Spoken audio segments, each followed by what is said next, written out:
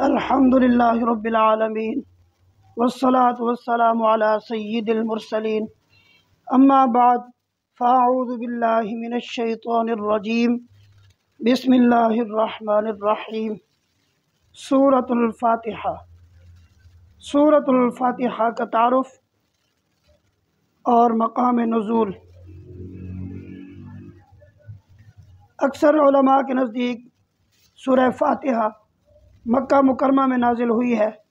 इमाम मुजाहिद रहमतुल्लाह ताला फरमाते हैं कि सूरह फातिहा मदीना मुनवरा में नाजिल हुई है और एक कौल ये है, सूरतुल फातिहा दो मरतबा नाजिल हुई। एक मरतबा मक्का मुकरमा में और दूसरी मरतबा मनी मदीना मुनवरा में नाजिल हुई है। इस सूरत में एक रकू सात आयतें सत्ताईस कलमे और एक सौ चार हरूफ चालीस हरूफ हैं। इस सूरत के मुतद नाम हैं। और नामों का ज़्यादा होना इसकी फजीलत और शर्फ की दलील है। इसके मशहूर पंद्रह नाम ये हैं। नंबर एक सूरह फातिहा से कुरान पाक की तिलावत की जाती है। और इसी सूरत से कुरान पाक लिखने की इब्तदा की जाती है इसलिए इसे फ़ातिहतुल किताब यानी किताब की इब्तदा करने वाली कहते हैं। नंबर दो, इस सूरत की इब्तदा अल्हम्दुलिल्लाह से हुई। इस मुनासबत से इसे सूरतुल हम्द, यानी वो सूरत जिसमें अल्लाह ताला की हमद बयान की गई है, कहते हैं। नंबर तीन, चार, सूरह फातिहा। कुरान पाक की असल है, इस बिना पर इसे उम्मुल कुरान और उम्मुल किताब कहते हैं। नंबर पाँच, ये सूरत नमाज़ की हर रकात में पढ़ी जाती है। या ये सूरत दो मरतबा नाजिल हुई है। इस वजह से इसे असबुलमसानी यानी बार बार पढ़ी जाने वाली या एक से जायद मरतबा नाजिल होने वाली सात आयतें कहा जाता है। नंबर छः, ता आठ, दीन के बुनियादी अमूर का जामे होने की वजह से सूरतुल फातिहा को सूरतुल कंज, सूरतुल वाफिया और सूरतुल काफिया कहते हैं। नंबर नौ, दस, शिफा, का बायस होने की वजह से इसे सूरत शिफा और सूरत शाफिया कहते हैं। नंबर ग्यारह, बारह, तेरह, चौदह और पंद्रह। दुआ पर मुश्तमिल होने की वजह से इसे सूरत दुआ सूरत सूरत सवाल सूरतुलमनाजा सूरतुलतफवीद भी कहा जाता है। सूरह फातिहा के फ़ज़ाइल। अहादीस में इस सूरत के बहुत से फ़ज़ाइल बयान किए गए हैं। उनमें से चार फ़ज़ाइल दर्ज झैल हैं। नंबर एक, हज़रत अबू सईद बिन मुअल्ला रदी तु फरमाते हैं, मैं नमाज़ पढ़ रहा था मुझे नबी करीम सल्लल्लाहु अलैहि वसल्लम ने बुलाया, लेकिन मैंने जवाब ना दिया। जब नमाज़ से फारग होकर बारगाह रिसालत सल्लल्लाहु अलैहि वसल्लम में हाज़िर हुआ तो मैंने अर्ज़ की, या रसूल अल्लाह सल्लल्लाहु अलैहि वसल्लम, मैं नमाज़ पढ़ रहा था। ताजदार रिसालत सल्लल्लाहु अलैहि वसल्लम ने इरशाद फरमाया, क्या अल्लाह ताला ने ये नहीं फरमाया इस तजीब वली रसूल इज़ा दाकुम।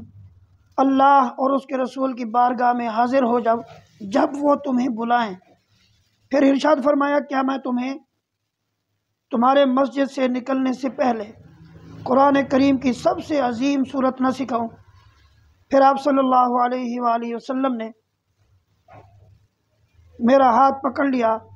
जब हमने बाहर, निकलने का इरादा किया तो मैंने अर्ज़ की या रसूल अल्लाह सल्लल्लाहु अलैहि वसल्लम, आपने फरमाया था कि मैं तुम्हें, कि मैं ज़रूर तुम्हें कुरान मजीद की सबसे अज़मत वाली सूरत सिखाऊँगा।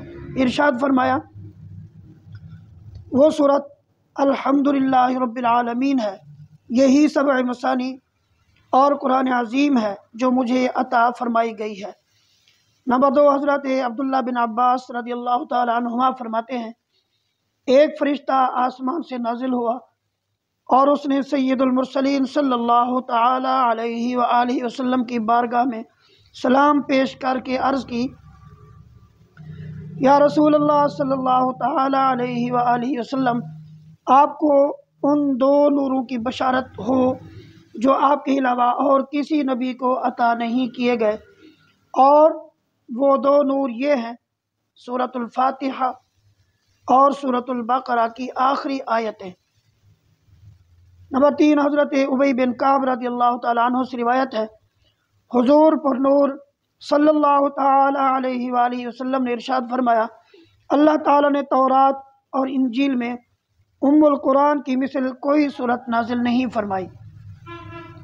नंबर चार, अब्दुल मलिक बिन उमैर रदी अल्लाह तु से रिवायत है नबी करीम सल्लल्लाहु अलैहि वसल्लम ने इरशाद फरमाया, सूरह फातिहा हर मर्ज़ के लिए शिफा है। सूरह फातिहा के मजामी इस सूरत में ये मजामी बयान किए गए हैं। नंबर एक, इस सूरत में अल्लाह ताला की हमदोसना का बयान है। नंबर दो, अल्लाह ताला के रब होने, उसके रहमान और रहीम होने निज़ मखलूक के मरने के बाद दोबारा ज़िंदा किए जाने और क़यामत के दिन उनके अमाल की जजा मिलने का ज़िक्र है। नंबर तीन, सिर्फ़ अल्लाह ताला की इबादत का मुस्तक होने और उसके हकीकी मददगार होने का तस्करा है। नंबर चार, दुआ के आदाब का बयान और अल्लाह ताला से दीन हक और सिरात मुस्तकीम की तरफ़ हिदायत मिलने, नेक लोगों के हाल से मुआफ़त और गुनाहों से और गुमराहों से इजतनाब की दुआ मांगने की तालीम है। ये चंद वो चीज़ें बयान की हैं जिनका सूरह फातह में तफसीली ज़िक्र है। अलबत् इजमाली तौर पर इस सूरत में बेशुमार चीज़ों का बयान है। अमीरमिन हज़रत अलीमरतदा करम वजह करीम फरमाते हैं, अगर मैं चाहूँ तो सूरह फातिहा की तफसीर से सत्तर ऊँट भरवा दूँ। अला हज़रत इमाम अहमद रज़ा ख़ान रहमत ताली हज़रत अलीमरतदा करम वाजाउल करीम का ये कौल नकल करने के बाद फरमाते हैं, एक ऊँट के, यानी कितने ही मन बोझ उठाता है और हर मन के, यानी कितने हज़ार अज्जा होते हैं, इनका हिसाब लगाया जाए तो ये हिसाब तकरीबन 25 लाख जुज बनते हैं। ये फ़कत सूरह फातिहा की तफसीर है। सूरह फातिहा के से मुतल शर्य मसाल नंबर एक, नमाज़ में सूरह फातिहा पढ़ना वाजिब है। इमाम और तनहा नमाज़ पढ़ने वाला अपनी अपनी ज़ुबान से सूरह फातिहा पढ़ेगा, जबकि मुक्तदी इमाम के पीछे खामोश रहेगा। और जारी नमाज़ में इसकी किरात भी सुनेगा और उसका यही अमल पढ़ने के हुक्म में है। अल्लाह ताला ने कुरान पाक में तिलावत के वक्त मुक्तदी को खामोश रहने और किरात सुनने का हुक्म देते हुए इरशाद फरमाया वलाक़ुरआन तुरहमून। और जब कुरान पढ़ा जाए तो उसे गौर से सुनो और ख़ामोश रहो ताकि तुम पर रहम किया जाए। और हज़रत अबू मूसा अशारी रदी अल्लाह तु से रिवायत है। हजूर अकदस सल्लल्लाहु अलैहि ने इरशाद फरमाया, जब इमाम किरात करे तो तुम खामोश रहो। हज़रत जाबिर बिन अब्दुल्ला रदी अल्लाह तु से रिवायत है। नबी करीम सल्लल्लाहु अलैहि वसल्लम ने इरशाद फरमाया, जिस शख्स का कोई इमाम हो तो इमाम का पढ़ना ही मुक्तदी का पढ़ना है। इनके अलावा और बहुत सी अहादीस में इमाम के पीछे मुक्तदी के खामोश रहने के बारे में बयान किया गया है। इमाम आज़म रज़ी अल्लाह तु का मुनाजरा। इमाम फ़खरुद्दीन राज़ी रहमत ला फरमाते हैं, मदीना मुनवरा के चंद इमाम आज़म अबू हनीफ़ा रज़ी अल्लाह तु के पास इस गरज से आए कि वो इमाम के पीछे मुक्तदी की किरात करने के मामले में उनसे मुनाजरा करें। इमाम आज़म अबू हनीफ़ा रज़ी अल्लाह तु ने उनसे फरमाया, सबसे मुनाजरा करना मेरे लिए मुमकिन नहीं। आप ऐसा करें कि मुनाजरे का मामला उसके सपुर्द कर दें, जो आप सबसे ज़्यादा इल्म वाला है, ताकि मैं उसके साथ मुनाजरा करूँ। उन्होंने एक आलम की तरफ़ इशारा किया। तो इमाम आज़म अबू हनीफ रज़ी अल्लाह तु ने फरमाया, क्या ये तुम सबसे ज़्यादा इल्म वाला है? उन्होंने जवाब दिया हाँ इमाम आज़म अबू हनीफ रज़ी अल्लाह तु ने फरमाया, क्या मेरा इसके साथ मुनाजरा करना तुम सब के साथ मुनाजरा करने की तरह है? उन्होंने कहा हाँ। हज़रत इमाम आज़म अबू हनीफ़ा रदी अल्लाह तु ने फरमाया, इसके ख़िलाफ़ जो दलील कायम होगी, वो गोया कि तुम्हारे ख़िलाफ़ कायम होगी। उन्होंने जवाब दिया हाँ। इमाम आज़म अबू हनीफ़ा रदी अल्लाह तु ने फरमाया अगर मैं इसके साथ मुनाजरा करूँ और दलील में इस पर गालिब आ जाऊँ तो वो दलील तुम पर भी लाजिम होगी। उन्होंने कहा हाँ। इमाम आज़म अबू हनीफ़ा रदी अल्लाह तु ने दरियाफ्त किया। वो दलील तुम पर कैसे लाजम होगी? उन्होंने जवाब दिया, इसलिए कि हम इसे अपना इमाम बनाने पर राज़ी हैं। तो इस बात की तो इसकी बात हमारी बात होगी। तो हज़रत इमाम आज़म अबू हनीफ़ा रज़ी तु ने फरमाया, हम भी तो यही कहते हैं कि जब हमने एक शख्स को नमाज़ में अपना इमाम मान लिया तो उसका किरात करना, हमारा किरात करना है और वो हमारी तरफ़ से नायब है। इमाम आज़म अबू हनीफ़ा रदील्ला तु की ये बात सुनकर सबने इकरार कर लिया कि इमाम के पीछे मुक्ति किरात नहीं करेगा। नमाज़ जनाजा में ख़ास दुआ याद ना हो तो दुआ की नीयत से सुरह पढ़, फातिहा पढ़ना जायज़ है, जबकि किरात की नीयत से पढ़ना जायज़ नहीं। बिसमीम तर्जमा कंजुल ईमान, अल्लाह के नाम से शुरू, जो बहुत मेहरबान, रहमत वाला, तर्जमा कंजुल इरफान, अल्लाह के नाम से शुरू, जो नहायत मेहरबान, रहमत वाला है। बिस्मिल्लाह, अल्लाह के नाम से शुरू। अल्लामा अहमद सावी रहमत ताला फरमाते हैं, कुरान मजीद की इब्तदा बिस्मिल्लाह से इसलिए की गई ताकि अल्लाह ताला के बंदे उसकी पैरवी करते हुए हर अच्छे काम की इब्तदा बिस्मिल्लाह से करें। और हदीस पाक में भी अच्छे और अहम काम की इब्तदा बिस्मिल्लाह से करने की तरगीब दी गई है।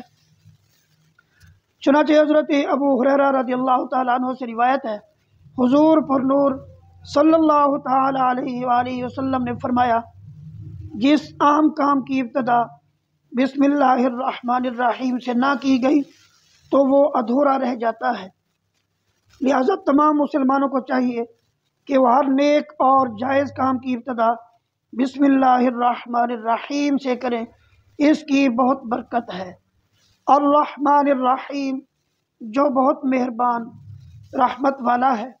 इमाम फ़खरुद्दीन राज़ी रहमतुल्लाह ताला फरमाते हैं, अल्लाह ताला ने अपनी ज़ात को रहमान और रहीम फरमाया तो ये उसकी शान से बईद है कि वो रहम ना फरमाए। मरवी है कि एक साहिल ने बुलंद दरवाजे के पास खड़े होकर कुछ मांगा तो उसे थोड़ा सा दे दिया गया। दूसरे दिन वो एक कुल्हाड़ा लेकर आया और दरवाजे को तोड़ना शुरू कर दिया। उससे कहा गया कि तू ऐसा क्यों कर रहा है? उसने जवाब दिया, तू दरवाजे को अपनी अता के लायक कर या अपनी अता को दरवाजे के लायक बना। है हमारे अल्लाह अज्जा रहमत के समंदरों को तेरी रहमत से वो नस्बत है, जो एक छोटे से ज़र्रे को तेरे अर्श से नस्बत है। और तूने अपनी किताब की इब्तदा में अपने बंदू पर अपनी रहमत की सिफत बयान की। इसलिए हमें अपनी रहमत और फजल से महरूम ना रखना। बिस्मिल्लाह से मुतक़ चंद शरय मसाइल। कराम ने बिस्मिल्लाह से मुतक़ बहुत से शरय मसाइल बयान किए हैं। उनमें से चंद दर्ज झैल हैं। नंबर एक जो बिस्मिल्लाह हर सूरत के शुरू में लिखी हुई है, ये पूरी आयत है। और जो सूरह नमल की आयत नंबर तीस में है, वो उस आयत का एक हिस्सा है। नंबर दो, बिस्मिल्लाह हर सूरत के शुरू की आयत नहीं है, बल्कि पूरे कुरान की एक आयत है, जिसे हर सूरत के शुरू में लिख दिया गया ताकि दो सूरतों के दरमियान फासला हो जाए। इसीलिए सूरत की ऊपर इम्तियाजी शान में बिस्मिल्लाह लिखी जाती है। आयत की तरह मिलाकर नहीं लिखते और इमाम जहरी नमाज़ों में बिस्मिल्लाह आवाज़ से नहीं पढ़ता। नीज़, हज़रत जबरील अलैहिस्सलाम जो पहली वही लाए, उसमें बिस्मिल्लाह ना थी। त्रावी पढ़ाने वाले को चाहिए कि वो किसी एक सूरत के शुरू में बिस्मिल्लाह आवाज़ से पढ़े ताकि एक आयत रह न जाए। नंबर चार, तिलावत शुरू करने से पहले आउज़बिल्लिनशैतरजीम पढ़ना सुन्नत है।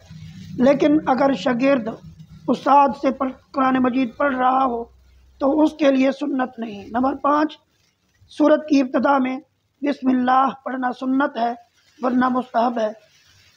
नंबर छः अगर सूरह तोबा से तिलावत शुरू की जाए बिल्ला और बिस्मिल्लाह दोनों को पढ़ा जाए, और अगर तिलावत के दौरान सूरह तोबा आ जाए तो बिस्मिल्लाह पढ़ने की हाजत नहीं।